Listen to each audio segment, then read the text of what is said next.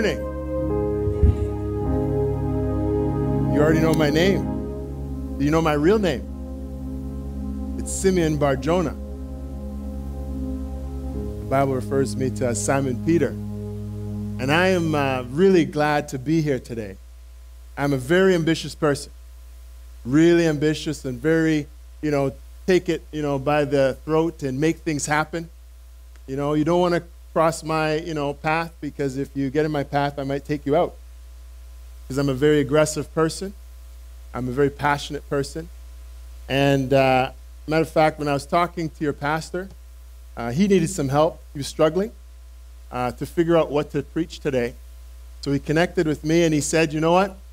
Can you help me? And I said, Pastor, I will take it on. And I won't, I won't take no for an answer. I will do it for you. I will be here. So, Pastor's home resting. And I came here today to deliver the sermon for you today. I'm a fisherman by trade. I'm a very good fisherman. I'm a very successful fisherman. I love to fish, and my business is a family business. And I'm one of the 12 disciples of Jesus. I've been with him for three years, and he just let me loose for a little bit of time today to share with you my story on the journey with Jesus. As I am here for only a few moments and was able to peruse the city and look on look up some things about our world, your world today, I noticed there's a lot of strange things here.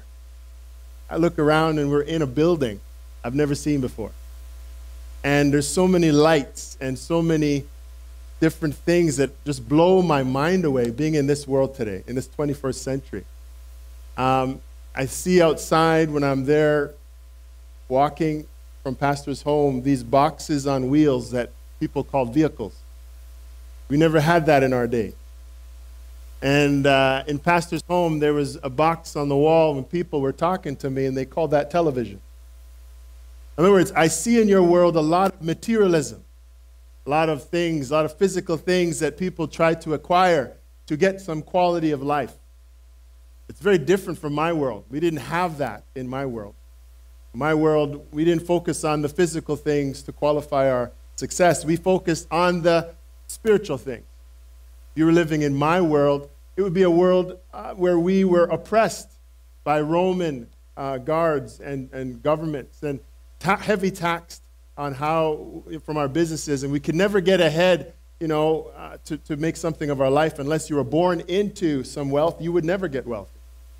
And coming from a rich Jewish heritage, you know, we had some golden years behind us. And now, for 400 years, we're under this oppression. And so we are trying to figure out how to untap the power that's within us to champion a, a, a, a freedom, a, a breakthrough through, for our political and religious liberties in our nation.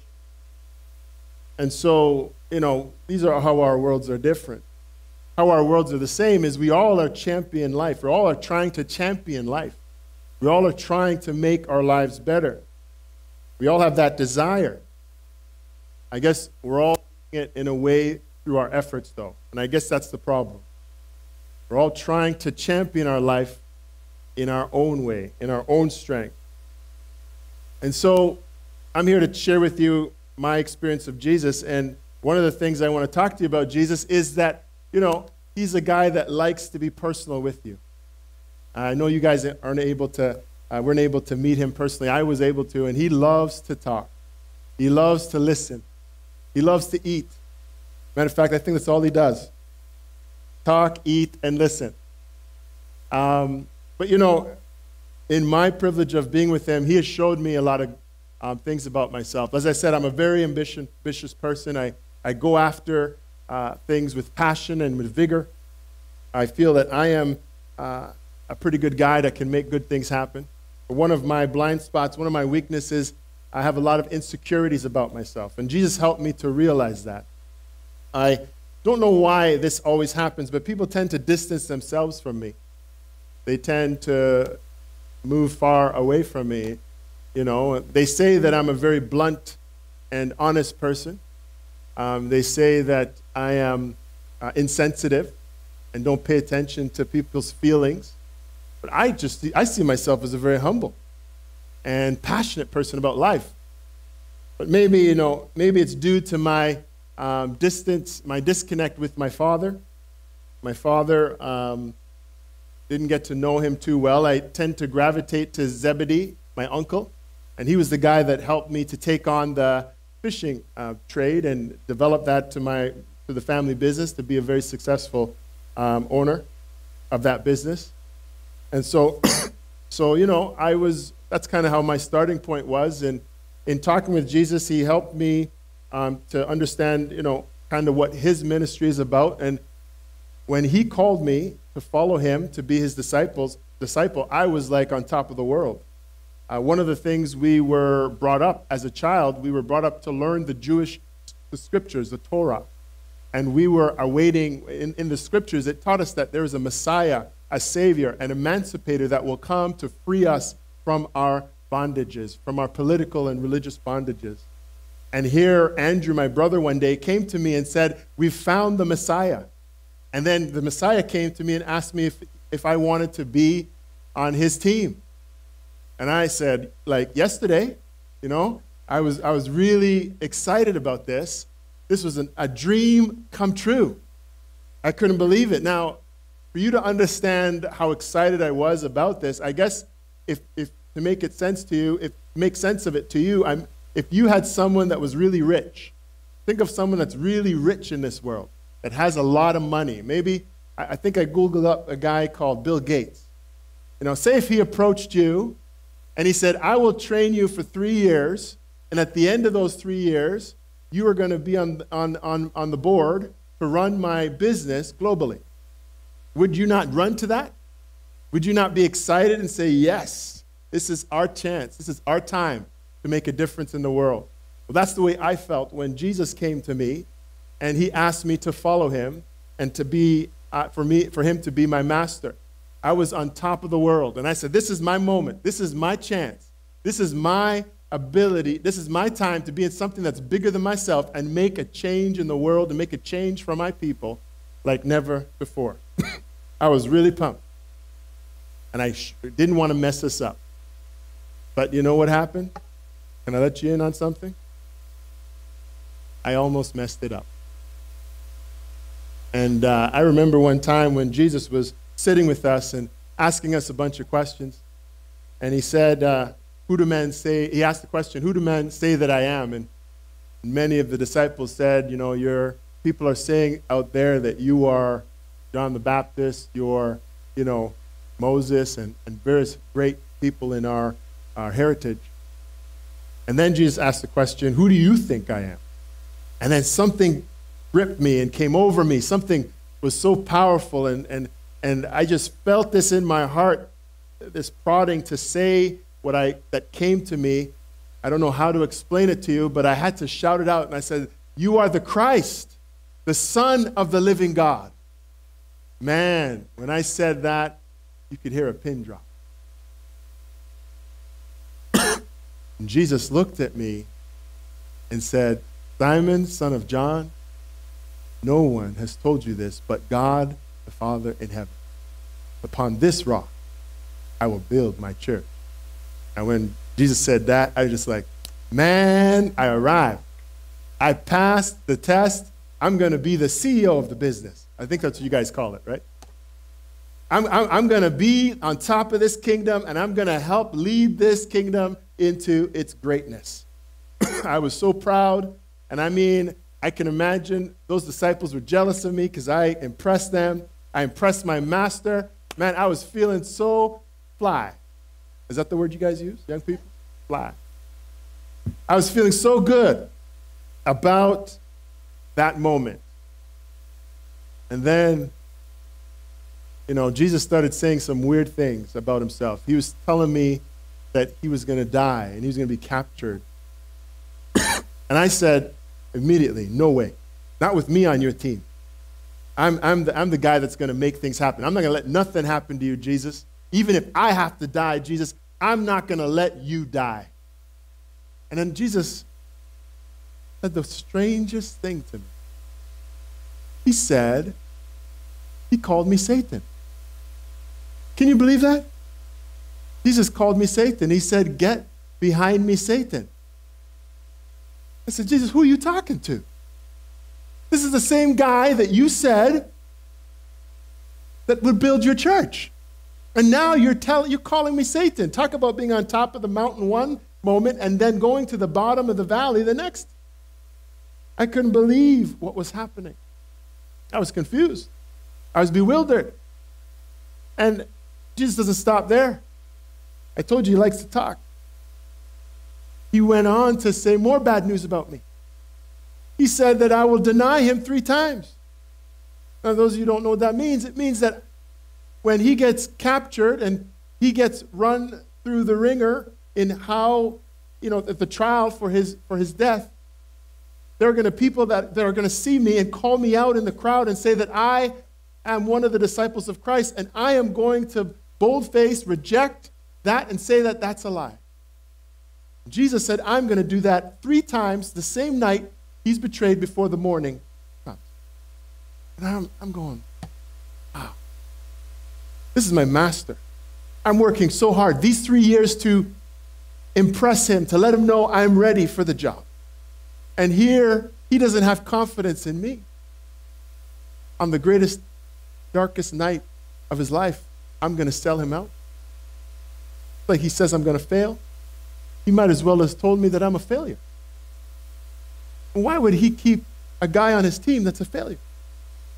How does he keep people on his team that he knows won't fulfill his work? But that wasn't the worst part. The worst part was what he said to me, said about me, actually happened. I really tried hard to fight it. But when the pressure really came on, and people were picking on me. you ever had anybody pick on you and you just couldn't contain it anymore? That's what happened to me, and I just blew up and I said, No, I don't know him.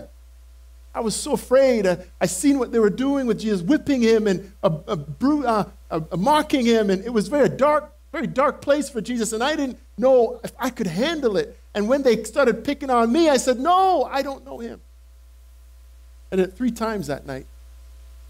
The last time was probably the darkest part of my life. Because as I was, the more it happened, the more people were calling me out, the more people were picking on me, the more I got frustrated and angry, even at God. And I rejected Jesus, but I also cursed and, and, and swore that I did not know them. I behaved very badly. I let my emotions get the best of me. What made it worse was while I was doing all that, I looked up and I saw Jesus there, and he saw everything. He saw everything. Oh, you know, it's one thing to do bad and nobody sees you. but when Jesus, your master, sees you do everything, it was so embarrassing. When my eyes met his, I saw the disappointment on his face and it broke me. It was the last memory I had of Jesus before he died. I don't know about you, but it is very hurtful when you know you have unresolved emotions with people that have passed on and you're not able to say goodbye or able to fix the situation or they leave this earth. You can imagine what I was going through when the one person I looked up to and the one person that became my father, both in heaven and on earth, I let down in his last moments. I was broken.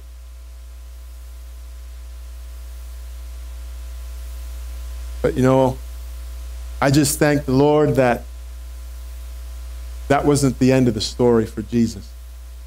That death wasn't the end of the story for Jesus. I thank the Lord that he arose on the third day. You see, before all this, I didn't understand Jesus, but after his resurrection, I understood a little bit more about Jesus. and that's why I'm here today to tell you my testimony, how his resurrection impacted my life.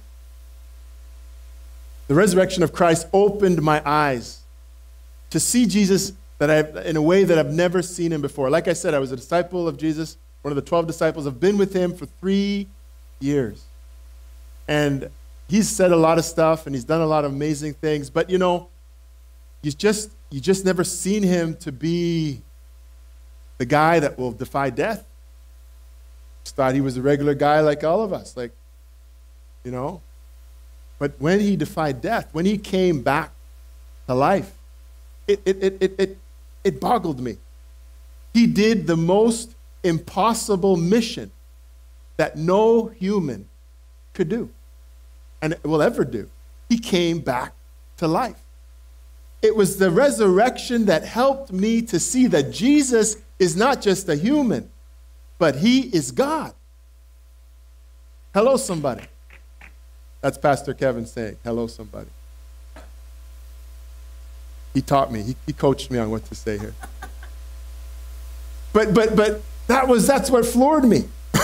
You know, I was, again, I was with them, and while I was with them those years, I never seen that about Jesus before. We saw him as a great prophet, as a great teacher, a great rabbi. This is the way we understood him. And even when I had the revelation of Jesus being the Son of God before his death, I didn't really understand the depth of what I was saying until the resurrection came and it opened my eyes to see that he was God. It's like, you know, when I was when when we were with Jesus before he died, it's not like he walked around and telling everybody and say, "Hey, I'm God, worship me." Jesus didn't do any of that. He didn't do the things that I thought God would think God would do. At least the God that I thought would do. In fact, Jesus, what he did most was he walked around and uh, took on the weaknesses of people and turned them into strengths.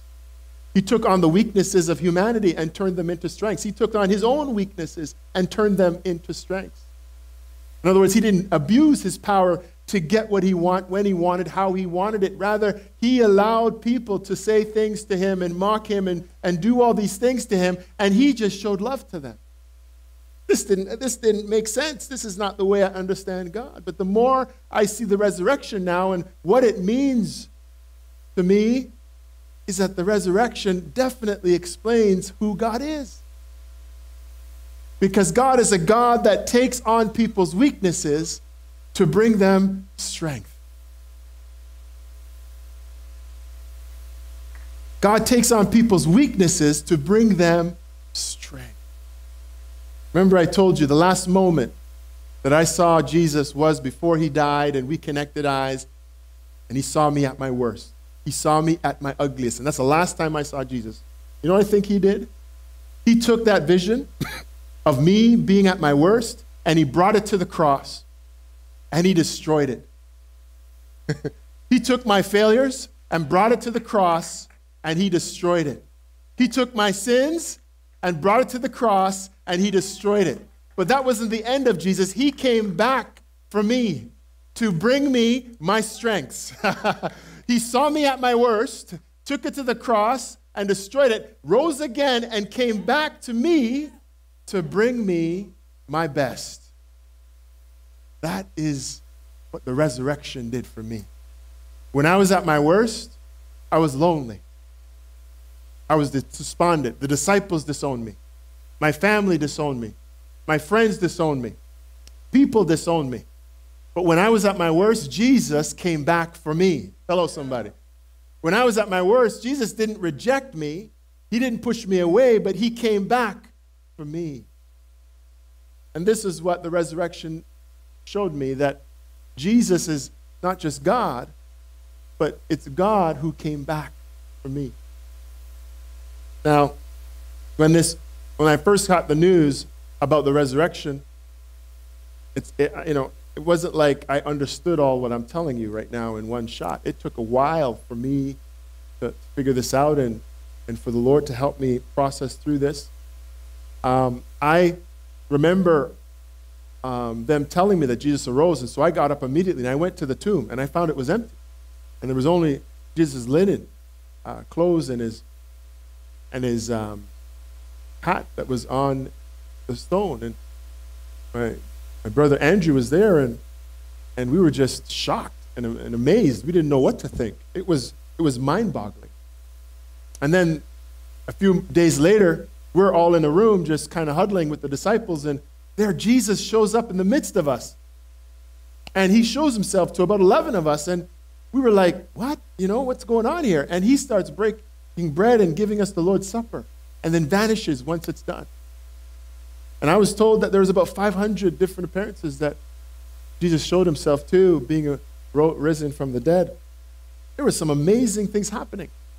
But you know what? As amazing as this good news was at first, I still wasn't uh, ready to follow him again. I, you know why? Because I remember the last time I saw him, I was at my worst. And I knew that I messed up big in front of him. And I didn't know how to face him. I didn't know what to say to him to make things better. You ever said something in a relationship, and when you say it, you kind of wish you didn't say it, and now you don't know how to face the person to fix it? Well, that's the way I felt. I was, I was, you know, not as engaged as I was uh, before in the things of God after I failed Him. um, when I went to the synagogues, rather than being up at the front of the church to get everything from it, I stayed at the back. Matter of fact, I didn't do much synagogue going. I kind of stayed by myself. But when I did go, I wasn't as engaged. I didn't get involved in different things that Jesus would have had me involved with to help the community. I kind of just went back to doing what I was good at. Because who wants to be a failure? Jesus said I was going to fail. I ended up failing him. So why bother keep doing something and failing?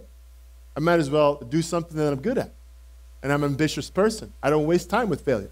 If I'm not good at something, I find something else to do so I can make a difference.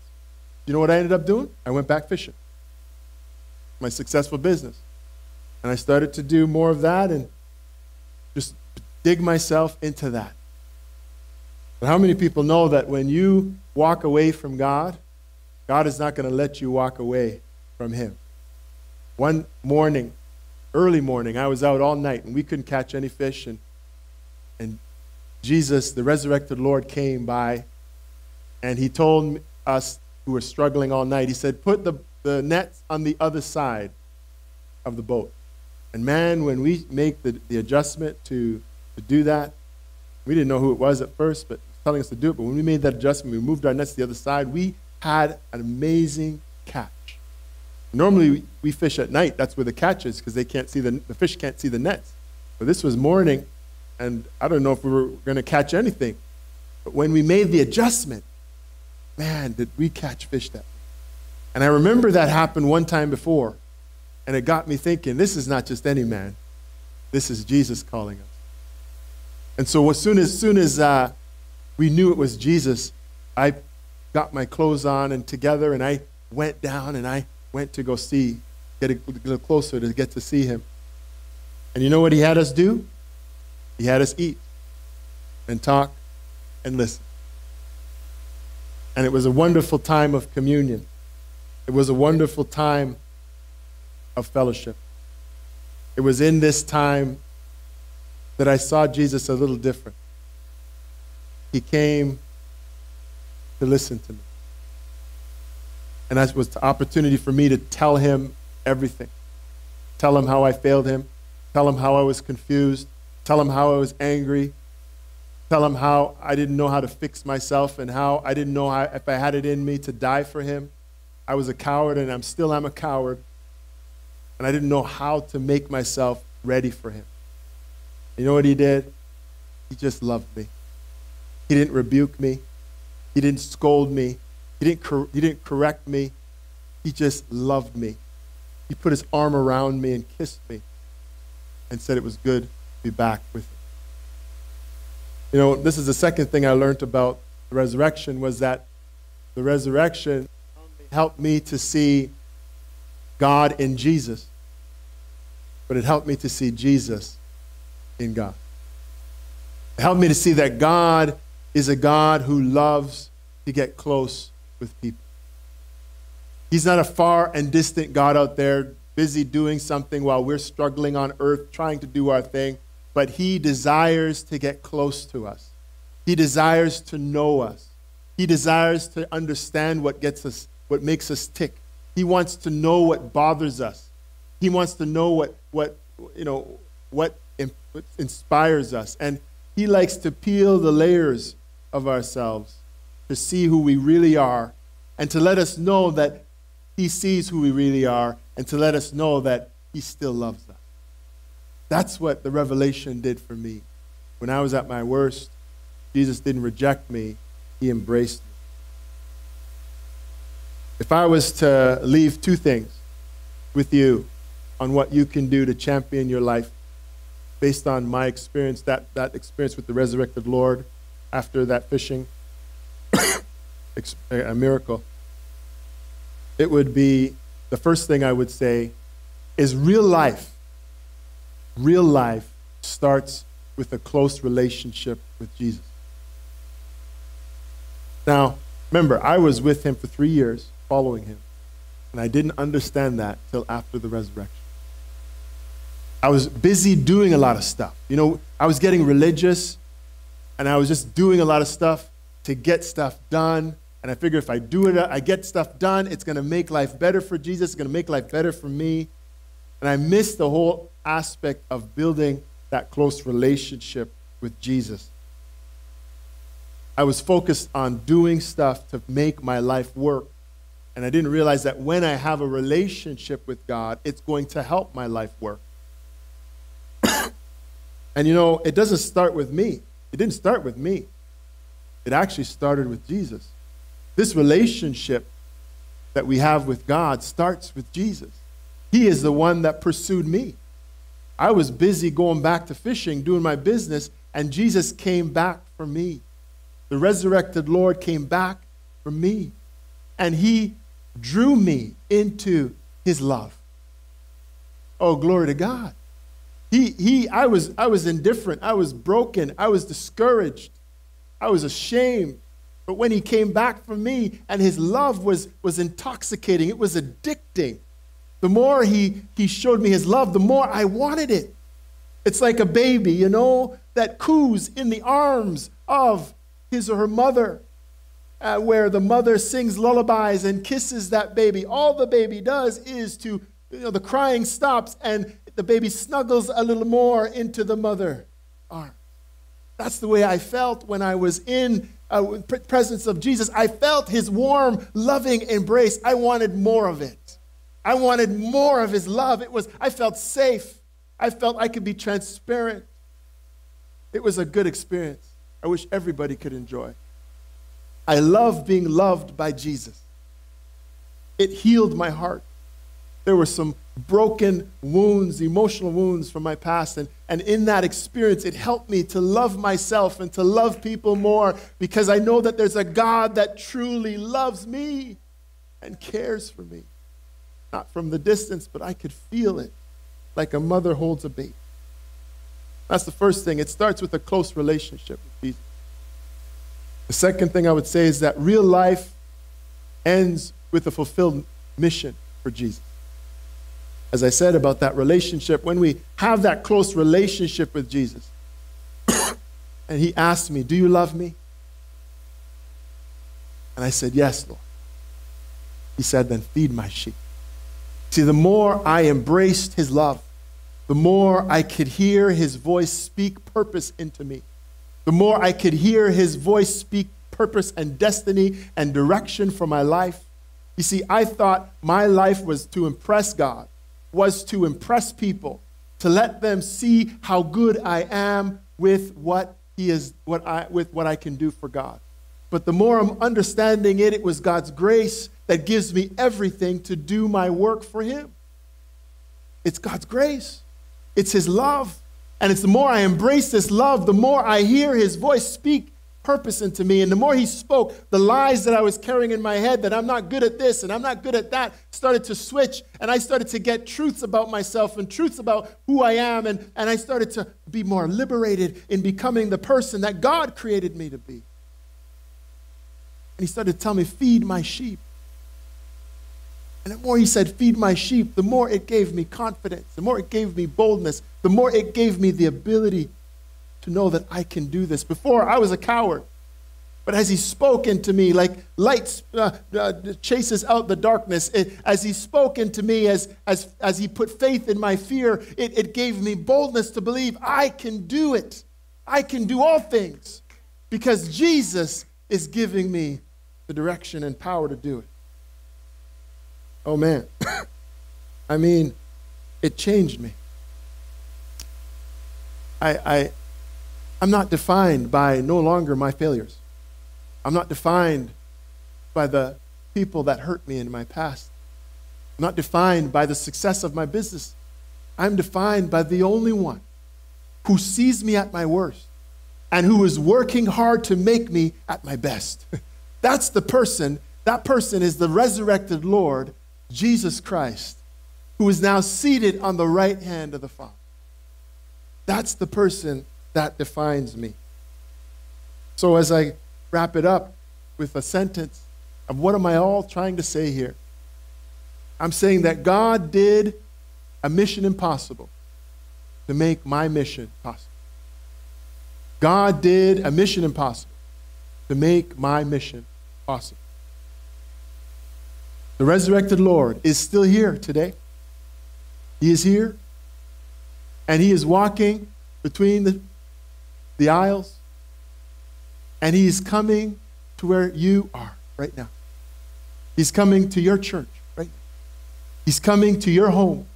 He's coming to your school, your job, your neighborhood, and He is coming to eat with you, to listen to you, and to talk to you. He wants relationship with you. He wants to have a closer relationship. And I don't know whether you believe what I'm saying or whether you, whether you don't.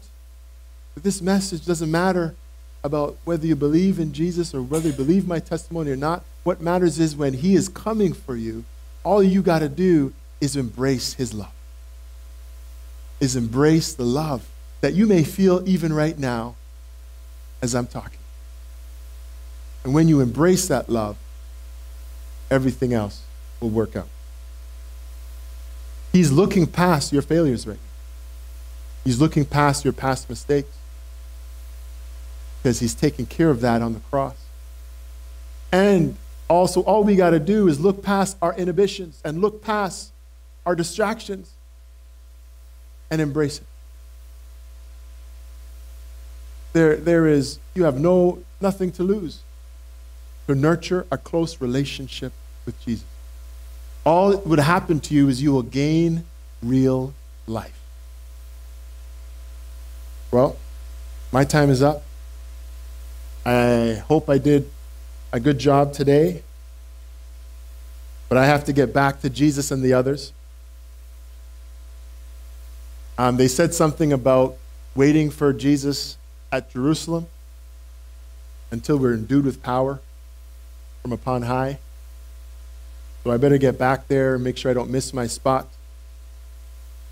Um, and hope that maybe one day I can come back again to share that experience with you. But until we meet again, may the peace of God be with you. Shalom.